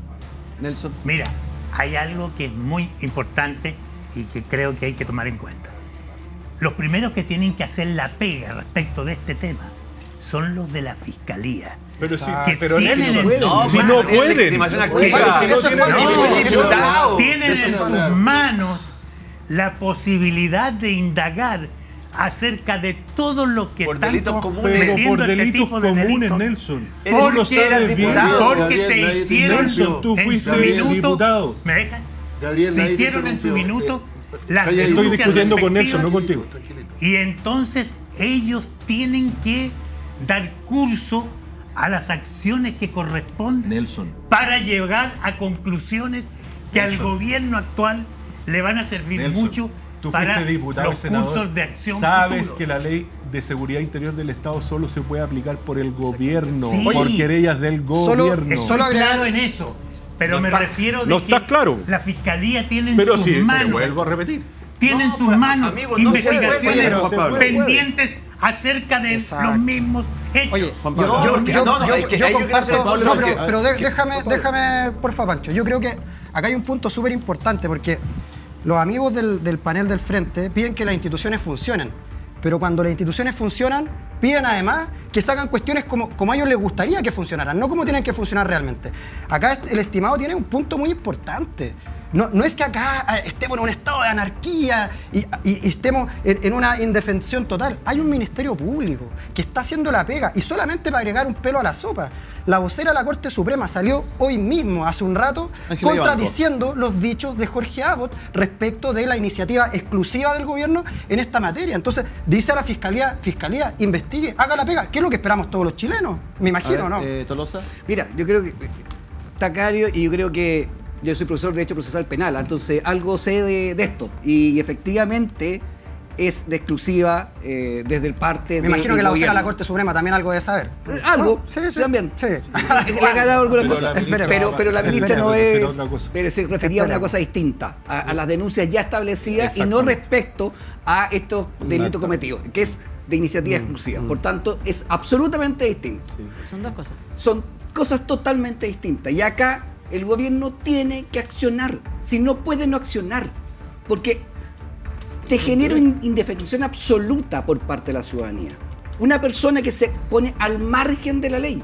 Él es un terrorista, está al margen de la institucionalidad. Y en ese sentido, tú necesariamente, en la obligación del Ministerio del Interior es querellarse. Si es muy fácil. Y por eso me llama la atención que no lo han hecho. Ahora, si tú lo, tal como dice Gabriel, si tú haces un link con la convención en el sentido que nunca quisieron criticar el- terrorismo, bueno, te hace alguna gracia. Pero también algo que decías recién tú respecto de la persona que fue eh, asesinada el día de ayer. La alcaldesa de Ñuñoa el día de hoy señaló que una de las cosas que hay que hacer, hablando eh, de esta intromisión que están haciendo eh, bandas de afuera, generalmente se está hablando mucho del tren de Aragua, es que hay que reformar y hay que establecer un fuerte eh, custodia de la frontera. Este texto elimina el estado de excepción de emergencia. En mi región, esa fue la forma en que se está controlando la migración y el narcotráfico. ¿Bajo qué ¿Y argumento? por qué, ¿Y por qué se está haciendo? Porque fue precisamente un homicidio de, una, de un trabajador, de un transportista que lo tiraron por una eh, paso sobre nivel, unos venezolanos que se tomó la decisión. Y en esta constitución se elimina. Por tanto, si se llega a aprobar, las fronteras dejan. Y hay que ser clarísimo. No, Carabineros- no necesariamente. Eso es Carabineros no puede resolver el Congreso al otro día. No, no, No pero lo puede resolver. También está acá. No lo puede resolver. Claro que puede resolverlo. No lo puede resolver. Hay algo que... Y, y la nueva constitución habla no lo habla. calamidad pública. No, no, no, no, no, no, no, no, no. Un momentito. mira, discutamos. Ese argumento, no, no, ese oye, argumento es no, discutible. Oye, discutamos Muy y no, discutible. yo estuve en la discusión y es absolutamente yo la vi también, o sea, no, No, me ponemos no, debate. pareciera que la favor, parece que la favor. mal. No, Parece que la aquí leíste mal. hubo una intencionalidad de eliminar el estado de emergencia. Y entonces, cuando se elimina el estado de emergencia, señora, señor, el día 5 de septiembre o 10 días después, cuando el presidente dicte el decreto promulgatorio a la Constitución, se acaba el estado de emergencia y no puede declararse por calamidad pública porque además la ley establece la calamidad pública en, lo- en- en- en el caso de los terremotos y las calamidades Estimado, públicas no, tienen que ver con elementos acá quiero- Déjame terminar porque yo estoy Sí, sí, de acuerdo, voy a, de voy a acuerdo, terminar de por acuerdo, de favor. acuerdo, de acuerdo. Lo segundo, sobre el estado de emergencia. René nos dice, bueno, pero se modificará. ¿Usted sabe, señora y señor, cómo podemos volver a, a- a modificar y poner el estado de emergencia que se les olvidó ponerlo en la Constitución? Bueno, eso significa cuatro séptimos más plebiscito o dos tercios. ¿Usted se puede imaginar cuánto, ¿Cuánto tiempo, tiempo? podemos estar sin estado de emergencia? Porque seamos claros, una, una modificación de esa naturaleza con plebiscito después nos van a tener votando dos meses después el, el- el- el estado de emergencia en un plebiscito para ver si lo queremos o es no, lo queremos. así, ¿Cómo que no es así? así. Sí, oye, perdón, Oye, perdón, ¿cómo perdón, modificamos la ¿sabes que Constitución? salgamos, salgamos un poquito de los cuentos No de puedes modificar la Constitución. No puedes modificar los estados de excepción si no por- Constitución. Sí, sí. Eh, René, ¿qué Sí, contigo? Salgamos un poco de los cuentos de bruja y de, y de las películas no, de no, no, terror. no, no, la realidad perdón, perdón, eh, señor abogado, déjeme, déjeme explicar. ¿ya? El problema es que soy abogado, pues. Perdóneme un poquito, sea respetuoso. De la ¿ya? audiencia, déjelo. Ya, Ok. Eh, ¿Qué ocurre? Hay un, la, la Constitución tiene normas transitorias, el proyecto constitucional, la, la- Mm. la que vamos a plebiscitar, tiene normas transitorias sobre las cuales se puede llegar a acuerdo en la medida que No. sean temas consensuados. Falso. Luego, eh, Falso. eh, ocurre que hay que recordar también desde dónde viene todo esto, porque yo entiendo que hay sectores que les gusta el estado de excepción permanente, ¿no es cierto? Y están Pero ahí si está preocupados de cómo, Tuvimos de cómo- 17 años en estado de de cómo excepción. reprimir, están preocupados, pero hay que, hay que recordar de dónde viene todo este proceso, y es importante, ¿no es cierto? Que viene del estallido social. ¿No es cierto? Aquí no nos podemos extrañar que haya gente en la convención que haya desconfiado de las nociones de, de las nociones de terrorismo, ¿no es cierto? Porque fue utilizado de manera política, de que fue que haya desconfiado del estado de emergencia, porque fue utilizado para eh, eludir una conversación política, ¿no es cierto? Instalando sistemas de- derivando hacia lo policial, un tema que debió haber tenido y debe, y debe tener aún otra salida ciertamente más política, más de diálogo, de la cual el Estado chileno no ha sido capaz de hacerse cargo, en definitiva, ¿no es cierto? Entonces, ¿qué ocurre? De- e- esas emociones y esas, y esas, por supuesto, esas eh, experiencias determinaron que hoy en el texto no esté la palabra terrorismo, no esté el estado de emergencia. Eso se entiende perfectamente. Pero luego, al aprobar, ¿no es cierto? Esto va a pasar, eh, a la- va a existir la posibilidad de reformar en el Congreso y eso va a depender de un diálogo político. Que personas cerradas como los que, las que escuchamos Ah. acá, señor en parte, Ya, ¿no es cierto? Dice que es imposible, que no se Pero puede si no- hacer. perdón, se puede hacer, que se puede- y, ahí, y ahí imposible. viene la necesidad también de reivindicar la política. la forma, Necesitamos René. una mejor política. ¿no ¿Sabes qué, cierto? René? Necesitamos ¿Sabes re- qué, René? reivindicar la política como una manera en que represente, ¿no es cierto?, voces sociales en que, en que se puede transformar. Mm. Estamos en un proyecto, estamos en un momento histórico importante, con incertidumbre, con, una, con un plebiscito que viene y donde hay muchas cosas en juego. La política también tendrá, Mm. tendrá que aprender a estar a la altura, ¿no es cierto?, y entrar en los debates. Y si hay que cambiar algo, se discutirá y se cambiará. Digamos, pero no contemos No, con cuentos de Vergara, por favor, y hagamos más embuste. Me emplazó, me emplazó. Magdalena. Sí, déjame decirle una cosa muy corta. Respecto al estado de emergencia, va más allá del estallido delictual, que fue lo que sucedió realmente en este país, va más allá de eso. Y sí, hay un espíritu en la convención de eliminarlo por lo que tú planteas, y eso es cierto porque ellos eran parte de esto también. Pero aquí hay que entender que la Araucanía venía con, con un problema endémico hace mucho tiempo. Ustedes que siempre dicen que hay que preguntarle a la ciudadanía, en la Araucanía se le preguntó a la ciudadanía y mayoritariamente fueron y votaron por estar a favor de este estado de emergencia porque no pueden vivir en paz. Y entendamos que el mandato primero de un gobierno es que haya orden público. Si no hay orden público, no hay nada, nada se puede hacer, no se puede ni siquiera vivir en paz, no se puede producir. Es más, la gente de la Araucanía no puede ni siquiera contratar un seguro eh, por la maquinaria porque ¿quién se las va a asegurar?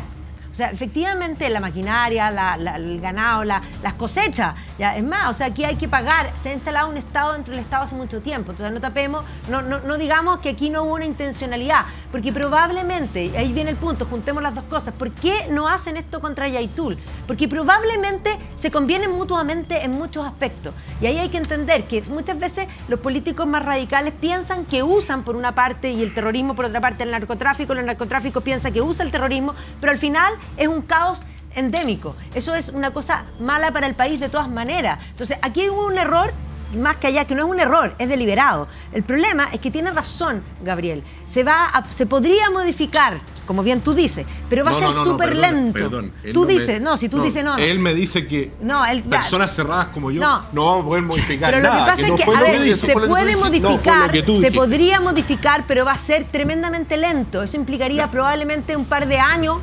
entre que esto suceda o un tiempo suficiente para que la gente que ya viva en, que vive en caos y que hoy necesita el estado de excepción y que les ha dado un cierto respiro, no lo tengan. Entonces, claro, hablar desde Santiago es re fácil, pero cuando los de Santiago, por ejemplo, tenemos que irnos de vacaciones y decimos, ya, vamos a ir a... A mí me tocó en febrero de Panguipulli. Y mi decisión familiar fue, tenemos que salir súper temprano. ¿Y por qué? Mire cómo uno normaliza. Porque hay que pasar la Araucanía temprano, hay que pasarla de día. Nosotros venimos de Santiago y pasamos. Ellos viven ahí. Es una cosa realmente tremenda. Entonces, minimizar esto y decir, lo vamos a cambiar, aunque nos demoremos. Mientras tanto, ¿ustedes qué? ¿Qué? No pueden ni salir de la No he- casa, no es un horror. eso, ¿ah? No Entonces, eso es deliberado, es que es el punto. eso. Aquí hay una, una, una confusión política y negarlo es Yo no realmente estoy negando nada, no estoy negando nada. Mira, Que quede, que que- quede en acta, por favor. Sí, yo solo un par de cosas, porque me parece un problema y un error eh, salir en este punto de Yaitul eh, enunciando la noticia del asesinato del trabajador de la aplicación de Didi y luego eh, continuamente meter el tema de Yaitul. ¿Por qué? Porque eso abre la posibilidad de una criminalización, que es lo que sufre constantemente el pueblo mapuche relacionado a este tipo de hechos. Perdemos mucho el foco de la discusión respecto de cuáles son las actuaciones del gobierno y respecto del texto constitucional que se nos está prometiendo que viene a solucionar problemas como por ejemplo la seguridad. Entonces ahí un- uno lo que tiene que primero hacer es analizar cuál ha sido la actitud del gobierno cuando era en oposición. Porque uno en política no prejuzga, uno juzga hechos concretos respecto a las actuaciones de parlamentarios cuando eran diputados o cuando tenían senadores. Y cuando ellos fueron oposición, te votaban en contra de la ley antibarricada. Cuando el presidente era oposición, señalaba por redes sociales que las barricadas en el contexto de la lucha social eran válidas. Y cuando asumen el gobierno, eh, este gobierno toma la decisión, porque estamos hablando mucho de las querellas por ley de seguridad interior del Estado, pero este gobierno las retiró. Este gobierno anunció que iba a retirar 139 querellas por ley de seguridad interior del Estado. Y cuando tú retiras las querellas, lógicamente no se puede realizar la investigación. Entonces, si estamos hablando de nuevos hechos constitutivos de delito, que son actuales, lo que requieren es legitimación activa. Y la legitimación activa, a mí me extraña mucho que parlamentarios no lo sepan. Pasa porque el gobierno tome cartas sobre, el asunto y presente las querellas correspondientes para que la fiscalía pueda iniciar. Y esto lo hemos visto en otras atribuciones, lo vimos también con el tema del financiamiento ilícito de la política, donde también se le criticaba al Servicio de Puestos Internos que no había iniciado las investigaciones correspondientes, porque precisamente la legitimación activa no estaba en la fiscalía de oficio, sino que pasa por la habilitación de un órgano, que en este caso es el gobierno. Entonces podemos discutir mil ratos respecto de cuáles son las querellas, cuáles no son las querellas, pero el sartén sobre la manga lo tiene el gobierno. Y este es un gobierno que primero te anuncia que te va a retirar 139 querellas por ley de seguridad interior del Estado y que luego impulsa la ley de amnistía para, que, para todas aquellas personas que estaban imputadas por haber destruido 14.000 pymes en este país, entre Y otras. después de eso- y después de eso sí, votan- y Y si a después eso, yo le sumo, si a eso yo, le sumo el tema de la constitución vigente, que esta constitución vigente, Ay. porque uno puede tener interpretaciones distintas respecto del texto, sin duda, uno puede interpretar de forma distinta. Sí, y, por eso eso, y no por es eso- mentira. y por eso yo voy a discrepar siempre con personajes como Fernando Atria, que a través del matonejo, al- el- el- de ser matón por redes sociales, dice que todo el resto está mintiendo. Pero acá uno puede interpretar, por ejemplo, el artículo del derecho a la vivienda y podemos tener discrepancias respecto a su alcance jurídico, pero que ustedes me vengan a decir acá que el estado de emergencia se subsume dentro del estado de catástrofe, por favor, un poquito más de seriedad, si los estados asamblea, Mira, sitio de hay, catástrofe, hay un punto que yo creo que va a requerir de una mirada serena y desapasionada de todas las fuerzas políticas. Y es que, con motivo de la inmigración ilegal, ilegal el país se ha visto verdaderamente invadido por más de 5.000 delincuentes de la más alta peligrosidad, provenientes fundamentalmente de dos países. Y no los voy a nombrar porque yo creo que cada cual puede presumir cuáles son para no después sufrir la embestida de quienes pueden acusar de tener algún sesgo.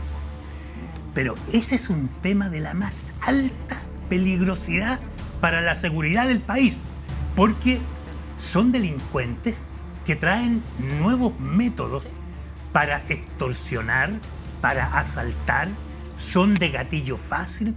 Estamos viendo muertes y balaceras prácticamente todos los días. Se mete el tema de la Contraloría y la intervención que está teniendo el gobierno en el apruebo y el rechazo. De hecho, habló el presidente, ¿lo tienes en video o lo tienes en gráfica? Póngalo en video, entonces, póngalo. creo que no empaña la campaña de voto informado. Creo que cuando hay gente o hay sectores que eh, tratan de evitar de que la gente se informe, a la gente le dan más ganas de informarse. Y por lo tanto yo eh, esta circunstancia la aprovecho de la siguiente manera. Uno, el gobierno no puede utilizar recursos públicos, no corresponde que utilice recursos públicos para difundir su preferencia respecto de una u otra opción, pero sí tiene el deber de informar. Y no vamos a cejar en el empeño para que todos los chilenos y chilenas voten el 4 de septiembre informados respecto de si aprueban esta nueva constitución o si rechazan. Ahí estaba el presidente Gabriel Boric y me gustaría bajar contigo, Pancho Rego, porque eh, hoy día un grupo de abogados fue, parece, hacer una notificación, no sé cómo se dice técnicamente, una presentación a Contraloría por este trato directo, aparentemente, que hace a una empresa para imprimir rápidamente eh, los ejemplares del borrador. ¿Qué es lo que está pasando acá? Bueno, estamos hablando de, de varias denuncias ya que se vienen acumulando en Contraloría hace harto rato. Algunas van en contra de municipalidades cuando hay dictámenes de Contraloría aprobazo. Que, que establecían que las municipalidades no podían realizar ningún tipo de actividad política. Hay algunas que van directamente contra el gobierno, por ejemplo el live que hizo Giorgio Jackson con Camila Vallejo, o la declaración del diputado Leo Soto en la misma moneda con un video muy desafortunado para ellos, porque la verdad es que estaban en la reunión de un comando de la prueba. Y la presentación que se realiza hoy en día en la mañana con un grupo de abogados que de paso son amigos míos, eh, fue de- respecto de la licitación, la, la compra directa y el trato directo que se hace para la impresión de mil ejemplares del texto constitucional por un precio de 526 millones de pesos, eh, que no se, no se ajustaría a la normativa legal vigente, esto es toda vez que se debería haber hecho por concurso público o a, o a través de Chile Compra. No, o sea, eso no- para que la gente entienda no- llamar no- a distintas personas que hagan su oferta exacto. y contratar a las que le parece más Porque- atractiva en porque precio, no se- calidad. no se verificaban las condiciones que establece la ley para que se pueda realizar la compra directa ante ciertas circunstancias. eso, eso, ¿ah? ¿A quién se lo otorgaron la impresión? ¿Cómo? ¿A quién le otorgaron la impresión? Porque no, no hubo, digamos, el, a la empresa en particular no tengo idea, amigo. No sé cuál será la empresa que se encargó de... de- ni la Guimantú, ni lo, no, no fue No ninguna tengo de idea cuál fue. Yo no- Parece que está no vinculada al. Mercurio. Parece que es una empresa vinculada al Mercurio, ¿no? Al Mercurio, Ah, no tengo idea. Parece. No creo que sean me, amigos, me da la exactamente lo mismo. ¿ah? Es que La- la- la- la verdad es que me da exactamente lo mismo. Un dato menor. Y, y- y creo que finalmente, como estamos hablando de presunción de inocencia, aquí lo que, lo que corresponde es que efectivamente la Contraloría tome los antecedentes, realice las investigaciones y, así como lo hizo con el Hospital de Antofagasta, que se inició sumario, a uno le interesaría que acá la resolución de la Contraloría fuera lo más expedita posible y que tuviéramos certeza de que efectivamente el gobierno no está realizando gasto público para una campaña en particular. Y ahí viene mi opinión política, yo creo que sí lo está haciendo el gobierno, eh, eh, eh, pero es que es descarado.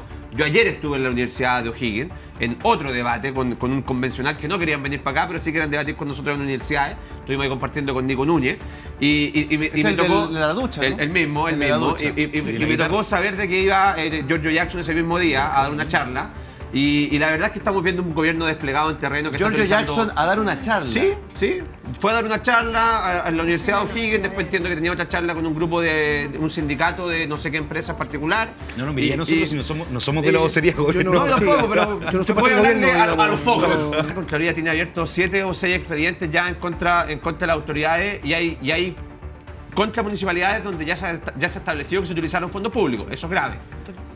Ignacio. No, está bien, mira, sí, a ver. La chimuchina y los elementos menos importantes que, que, que actúe la, la Contraloría. Si esta cuestión se va a ¿Pero resolver. le parece a usted chimuchina Sí, que, oye, que mira, se ocupe con pero- la plata de los impuestos de no, no, no, no, no, no, no, no, Gonzalo, hay, co- hay cosas No, pues distintas. eso es un delito, Una- pues. eso es un delito. Una cosa es comprar constituciones, ¿Cuál hay que era la mandar a ley hacer las constituciones. Para que esas constituciones lleguen a las personas, las personas puedan leer esas constituciones. Y eso está muy bien, Gonzalo, está muy bien, porque si no lo hicieran, más de alguno reclamaría que en esta elección se votó sin que nadie estuviera informado respecto a qué decía el texto. Entonces hay que comprar el texto y que se reparte el texto. Y yo entiendo que hay mucha gente hoy día. Fíjate que me ha llamado la atención. Yo he estado en varias comunas y en varias regiones el último tiempo. Yo estudié Derecho, eh, no soy eh, abogado, pero obviamente algún conocimiento tengo, me encuentro con gente, la verdad que está muy lejana del mundo del derecho, que maneja muy bien eh, el contenido de la convención, del, texto de la Constitución. O sea, hoy día estamos en un momento constituyente de una relevancia importante. Y creo que es importante también que en el debate estemos a la altura. Yo sé que ustedes también, que se dedican a las comunicaciones y la respeto mucho por eso, eh, tratan de informar desde su punto de vista y eso está muy bien. Pero tenemos que entender que hay un espacio para la lectura de un texto que va a ser lo plebiscitado el día 4 de septiembre. Ya, que, la que la Contraloría opere, que la Contraloría opere, está muy bien que el, que el ente Contralor haga una investigación, así como, por ejemplo, ha hecho investigaciones respecto a la exalcaldesa Cati Barriga, por ejemplo, que la tiene hoy día en un juicio de cuenta No, tiene ser- una bodega ¿qué te llena de peluches todavía. Muy bien. Pero ¿qué te parece esa postura, esa postura táctica que ha tomado la opción de la prueba de tildar a, to- a todo aquel que interpreta el texto jurídico de mentiroso? A mí me ha pasado respecto a la interpretación del derecho a la vivienda. ¿Qué te hay- parece, ¿qué te parece esa campaña? La campaña que- que hace Fernando hay, ¿qué te parece? Hay, dos discusiones. Una negativa por ambos bandos, si, si tú querís. Sí. Hagamos la caricatura. Ambos Yo los bandos. critico a todos. Creo que hay sectores de la izquierda que efectivamente eh, han mentido. eh, y hay sectores de la derecha que han mentido tal vez más. Vimos a Mario Weisblut el día domingo, Pancho, no, no, en, no, no, no con una cartita en el diario, en, en un canal de Weisblut, televisión que todo el mundo lo ve y que fue desmentido por un periodista en vivo, Pancho. ¿Qué dijo? Dijo que la, la Contraloría eh, iba a ser, eh, las funciones de la Contraloría, la autonomía del Banco Central, iban a ser modificadas por simple mayoría de los diputados presentes en la sala. Eso es una mentira y él lo presentaba como uno de sus grandes argumentos para votar rechazo. Y eso es totalmente falso. Entonces, quedó con ese mayoría tipo- calificada, sí. esa no es un, ese no es un er- O sea, error de interpretación. con, con mayoría calificada. Quiero agradecerle a la gente de Inversión Global, señoras y señores. Ahí está apareciendo acá abajito. Compre tu casa en Estados Unidos desde 25 mil dólares y obtén rentas desde 750 mil pesos mensuales. Ya sabe, www.inversionglobal.cl. Claudia, por favor, panel ciudadano, día Eh, jueves, sin filtros. Quiero decir algo con respecto al tema que estamos hablando ahora, pero recordarles que eh, al señor trotskista de acá al frente, eh, Human Rights. Watch ya dijo que no hay violación sistemática de derechos humanos en Chile. Deja de decirlo, por favor. También lo dijo. No, no, Ah, no, dijo que había violación de derechos humanos. sistemática. Sí, y Sergio que Mi- hubo y Mico violación dijo lo mismo. No son sistemáticas. Entonces, para decir que son sistemáticas. Eso es lo primero. Que según informe, hay otro informe, pero Human Rights Watch, que nadie puede decir Que es muy de izquierda, el del, dijo del que había. INDH, del INDH, o sea, por favor, respeta tus mismas Amnistía autoridades. Bueno, otro- el punto es acá, yo creo que más allá de si el gobierno imprime o no las constituciones, yo creo que el punto es cómo se usan los recursos públicos. Y yo creo que ya estamos, lamentablemente en Chile se ha normalizado que la clase política tiene esta cuestión de, bueno, gastemos total de dónde sacamos la plata, reforma tributaria, seguimos sacándole plata a la gente que realmente trabaja y bueno, y gastémonos la plata independiente a quién se le compraron. Porque, y además, ojo, acá los que están repartiendo la constitución oficial es la gente del apruebo y se niegan a entregarle a la gente del rechazo que de muy buena fe quieren ex- explicar con el texto en la mano por qué argumentan en contra del proyecto Sandra, ¿usted le ofreció los libros para repartir? Sí, yo fui ayer al comando del rechazo, del apruebo. Ah, Entré. pero esa, no, pero esa no es una. El, el comando de la prueba eh, quería no O es la casa una, de la prueba, no ¿cuál es una A la casa, fui, al comando No es- oficial. pero no es entidad ¿Te pública. juntaste con el presidente de la República? No, mira, no, no, no. No, no, pero que en ese el momento estaba Jackson. Bastante cerca. que salir. al, lado, del Partido Radical y el Partido Socialista, están todos juntos. Yo estoy partidaria del rechazo y feliz que toda la gente reciba, porque toda la gente se tiene que informar para estar clara a la hora de votar. Entonces, tratar de hacer creer que la gente del rechazo no quiere que reciban no es así. Lo que la gente está molesta es por qué no se buscó a la empresa más barata para que hiciera la- la- los libros. Eso es. Ya, Yo ok. creo que por me, ahí quedan- va. me quedan 26 minutos. Quiero mostrar encuesta. Tenemos una encuestita. Eh, Black and White. Usted, René, usted, René Naranjo, ¿usted sabe algo de esta casa encuestadora Black and White? No tengo la menor Igual idea de le Black, sabe. Black- Black and White. De Black and White, este es azul. Ah, que yo tengo Black and White no de sé, no, no sé nada, pero hay un tema con la encuesta. Pero, Pero, de los datos ¿alguien lo conozco. Yo la verdad, Black and ¿sabes White la he escuchado. ¿Puedo hacer un Espera? Te lo doy, te lo doy, espera un segundito. Eh, Magdalena, ¿tú conoces Black and White? La casa escuchado en, la- ¿La he en- escuchado en las ellos? cosas anteriores, sí. Pancho, ¿usted la ha escuchado? Hay, hay otra cosa que se llama Black and White, ¿no? Sí, ese es el Por suerte, no, Claudia, usted quería decir algo antes de mostrar la Sí, encuesta. yo quería decir algo- comando. Yo quería decir algo con respecto al tema tributario, de, esto que cierto sector le da lo mismo cómo se gasta la plata de los chilenos y todo, y vamos haciendo reforma tributaria. Y aquí hay un punto que yo pocas veces he escuchado, que es el tema de la propuesta constitucional en el bodrio, digámoslo así. El único tema que no se puede plebiscitar es una reforma tributaria. Entonces después aparece un Fernando Atria diciendo, ay, pero ¿por qué le tienen tanto miedo a la consulta ciudadana y que sea el pueblo el que tome las decisiones de, la- de la- de la- de las reformas constitucionales y, y por qué tanto susto? Fernando Atria, ¿por qué tanto susto a preguntarle eh, al pueblo sobre las reformas tributarias? A mí me encantaría, porque yo ya fui una vez a tratar de hablar con Fernando Atria, me encantaría hablar con Fernando Atria acá, que él esté acá, buena onda con usted, pero ¿por qué no están ellos defendiendo el bodrio? ¿Por qué no están ellos? Porque cuando yo fui a hablar con él, él simplemente me respondió con preguntas. Entonces, Fernando, ¿por qué no vienes para acá y tenemos un debate ciudadano? Porque yo no soy ex- experta en derecho constitucional como lo es él, pero ven acá y sé transparente. No porque tiene a todos, a todos los convencionales encerrados, porque no les dan permiso para salir. Y solo ciertos convencionales, como el ex vicepresidente, como el mismo Fernando. Atria, tienen autorización para salir a hablar del bodrio. Es que las pocas veces que ¿A han hablado meten las patas. A ver, a ver, Yo Sandra, lo sé. miramos, miramos un poquito la encuesta, ¿la miramos? A ver, ya. 57, a ver, sería este de acá, ¿no, Euge?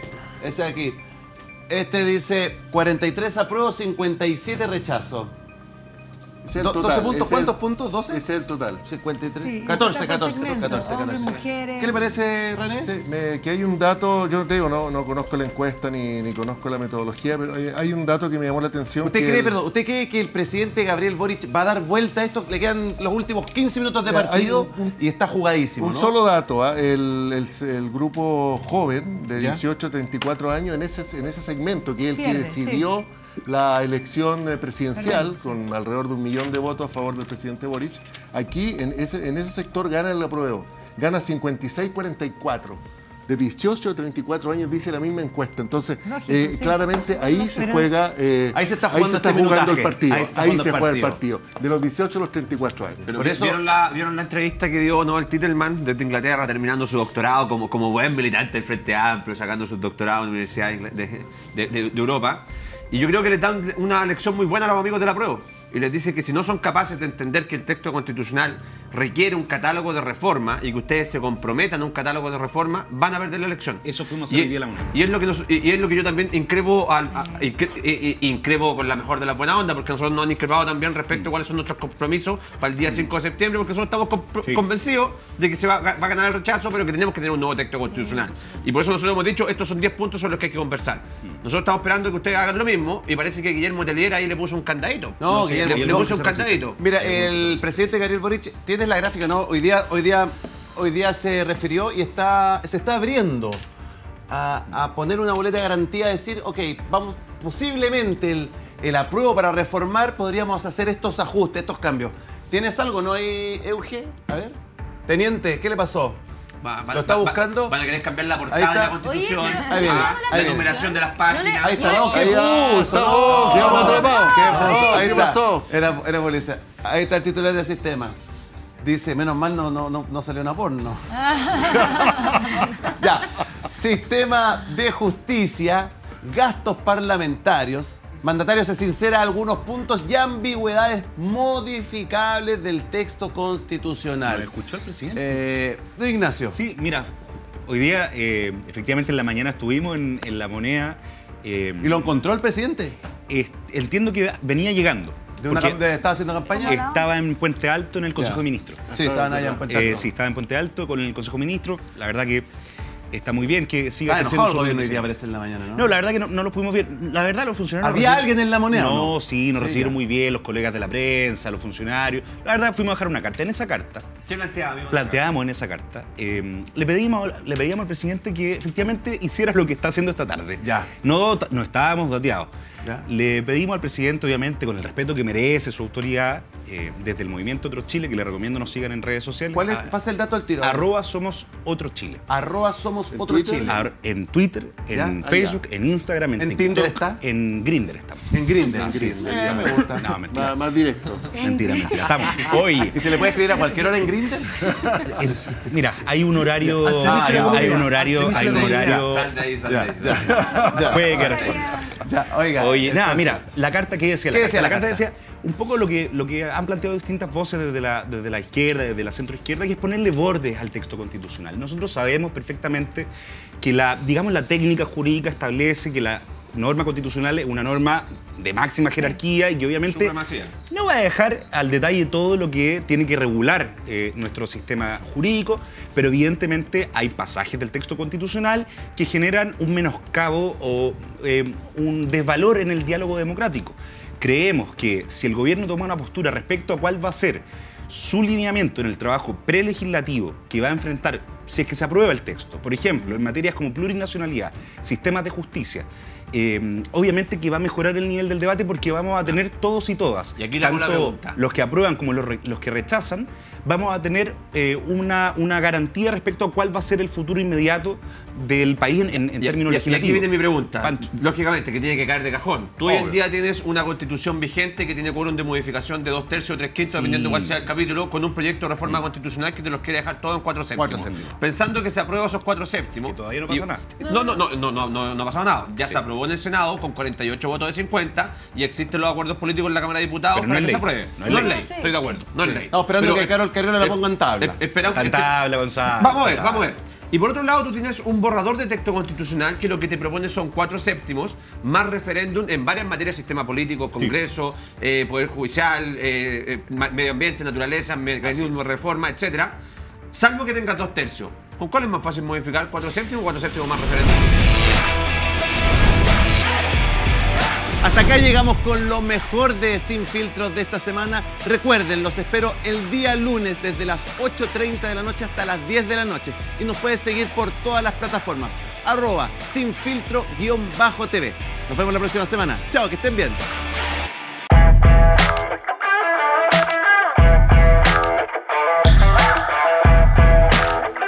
Compra tu casa en Estados Unidos desde 25 mil dólares y obtén rentas desde 750 mil pesos mensuales con inversión global. Entra a www.inversionglobal.cl. 25 años potenciando la presencia de Internet de grandes empresas de la región. Soho, desarrollando experiencias. Publimetro, el diario número uno de Chile, en los principales puntos de la ciudad y en publimetro.cl. Vida Alcalín, agua alcalina premium, pH 8.0, desde Limache para toda la región. Un lujo de agua. 45 by Director. Atrévete y vive una experiencia única en nuestro hotel elegante, atrevido y sustentable. Y Bite Me, las mejores hamburguesas. Ven a conocer nuestro nuevo local en Terrazas Mall Plaza Gaña. Bite Me, Natural Burgers. Presentaron Sin Filtros.